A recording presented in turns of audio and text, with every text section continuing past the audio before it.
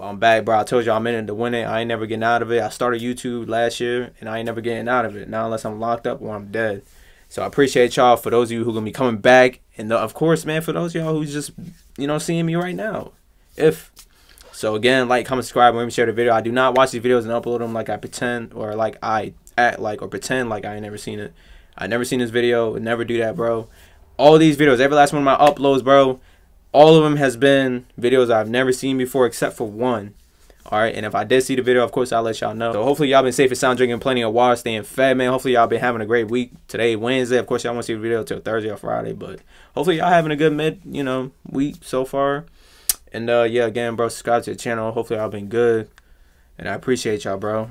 On my soul, man. I appreciate every last one of y'all. I know I ain't be you know, getting like a thousand views probably on this video, bro. But I appreciate every last one of y'all. Nevertheless, let's go ahead and get into the video. Let me go ahead and give y'all what y'all came here to see.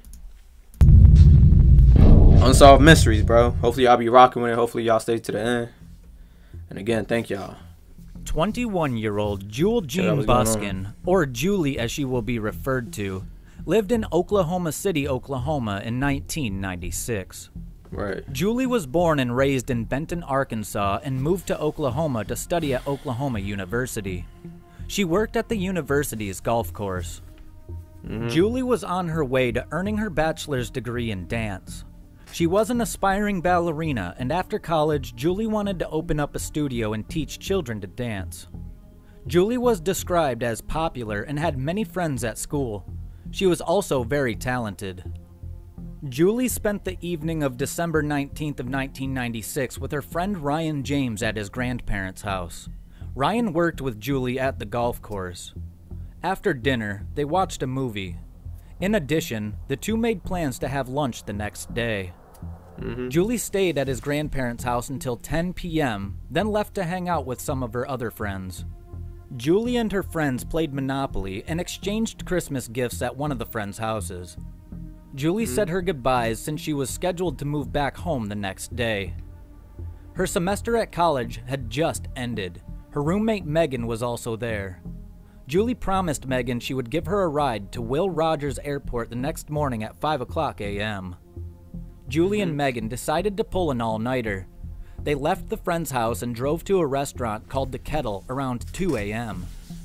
When they were done, Julie and Megan drove to the gas station, got some gas, and a cappuccino. They returned to their apartment a little after 3 o'clock a.m. to pick up Megan's belongings. A while later, the two left the apartment again and headed. Bro, first and foremost, bro. God, bro, this, Shorty, Shorty doing a whole lot of moving, bro. And this is not the type of female, bro. I'd be messing around with. Not that there's anything really too wrong with it, but bro, you pose a bigger threat of you getting kidnapped. I don't care if you a dude, if you a man, bro. You pose a threat. You pose a greater threat of you getting killed. You pose a greater threat of you getting robbed. You pose a greater threat to yourself getting kidnapped.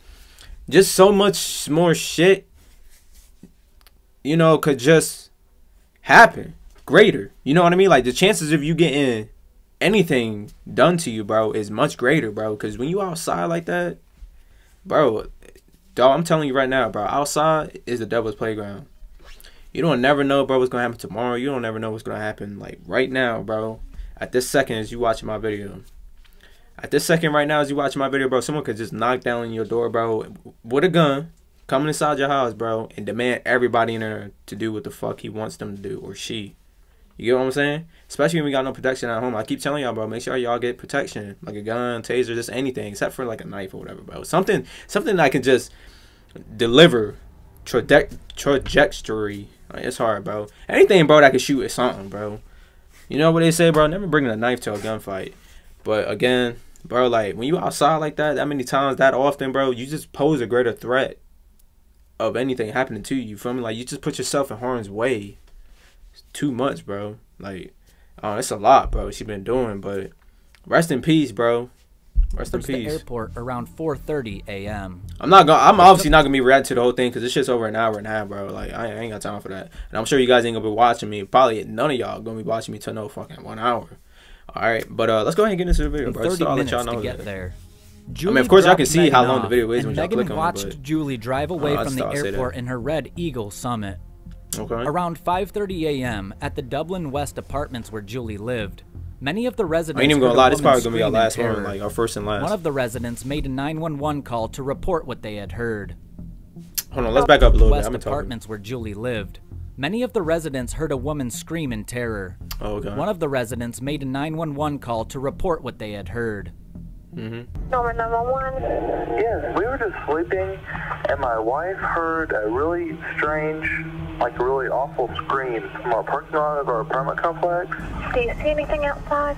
No, I'm kind of afraid to go outside, actually. A few hours later, Ryan James turned up at Julie's apartment for their scheduled lunch date. Julie was nowhere to be found, however. Her car Alright. was also missing. Ryan then reported her missing. Not long after that, Julie's parents arrived at her apartment. They drove from Arkansas to help Julie with her move back home. Instead of their hmm. daughter, they found policemen who informed them that Julie was missing.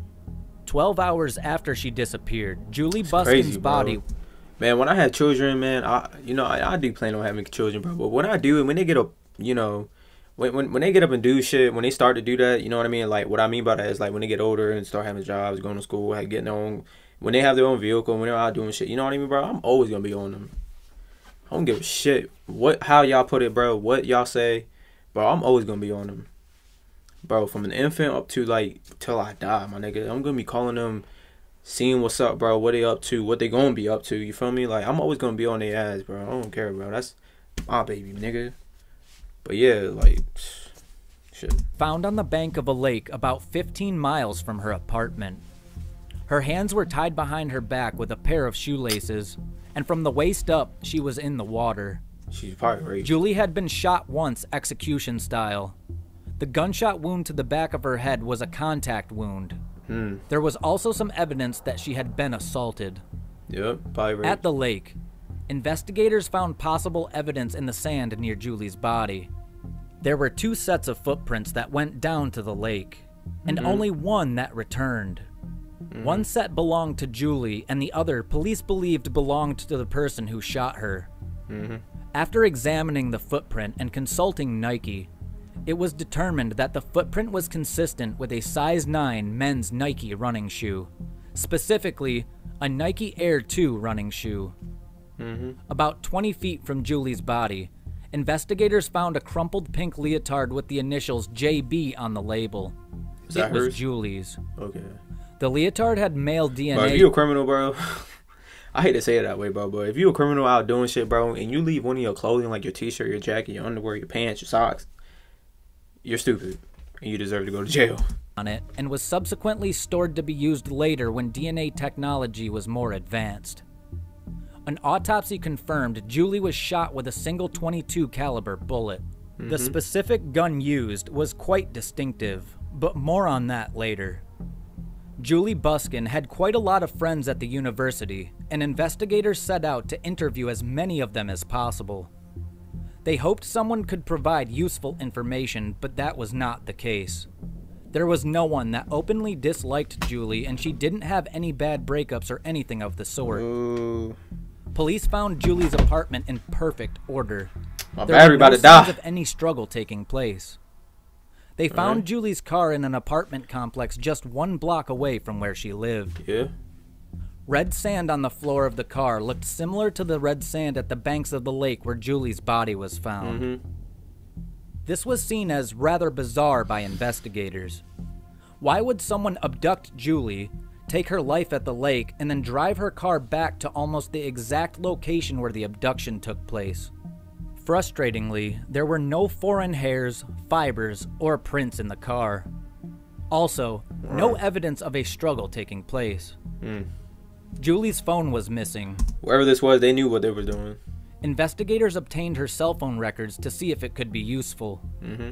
The cell phone records indicated that someone made two phone calls after she was not alive anymore. One of the calls was for the weather forecast, and the other to a number not in service at the time. Despite the leads and a $70,000 reward, there were no significant breaks and the case went cold. 70 grand. Shee, boy, man, I'm on my way, son. for a short while. Rest in peace. Then, a month after Julie's life was ended, a man called the police. He said that on the night Julie was abducted, he saw a car like hers pull out in front of him and they almost collided. This was near the lake. The witness followed Julie's car for about five miles because he wanted to confront the driver. The driver kept looking at the witness constantly through the rearview mirror and sped off. Hmm. The witness saw a glimpse of the driver's face and was then tasked with describing him to the investigators. This is the sketch they came up with of the young man that was driving Julie's car away from the lake. Hmm. He was possibly a college student, possibly Hispanic with long black hair and a muscular build. The composite sketch was broadcast repeatedly by the local media in Oklahoma. Nothing popped up. No one recognized him. The case went cold for four and a half years. Police received a letter from a female inmate at the Oklahoma County Jail. We're at She 12 said an old acquaintance of hers might have taken Julie's life. Hmm. He was 23 year old Dennis Sturmer. Sturmer was a construction worker and had no criminal record. But at the time of the crime, he lived just four blocks away from Julie's the cat though, but that sketch looked just like him.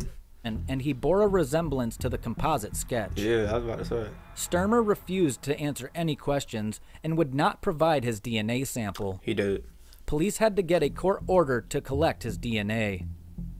His DNA profile was very, very close to the sample that was taken off the leotard at the crime scene. You hear that? Very close. Very, very close is not a It's match, enough, and he was right. not considered a suspect anymore. Right. Sturmer's only immediate living male relative was his brother. Just because it's very close does not mean that's what it is.